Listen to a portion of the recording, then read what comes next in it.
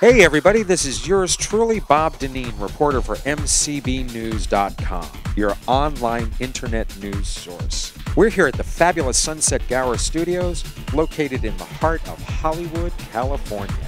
We are covering the new Filmmakers Showcase, where filmmakers from across the globe screen their short films to our Hollywood community. As you can see, we have an amazing crowd. All the actors, directors, and producers are walking the red carpet. So let's join in and talk to these up and comers and our future A-listers. And I'm with director Anthony Marinelli, correct? Is that, Right, get that? that's me, yep. Cool, fantastic. And he did Subway, which is already screened. Is that correct? And there was Subway. And how was the experience of filming, first of all, for you?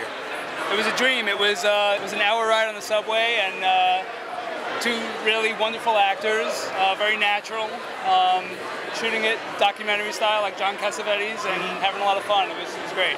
Oh, that's fantastic. And how was the, how was the reception tonight? Oh, it was great. Yeah, people really seemed to enjoy it. Yeah, I, I, uh, I wrote it, uh, directed it, and edited it. It was a, a fairly quick shoot. Shot it with a small Sony Handycam SR12 uh, HD, of course, and um, shot for about an hour on the subway, and ended up with a two-minute, you know, little gem.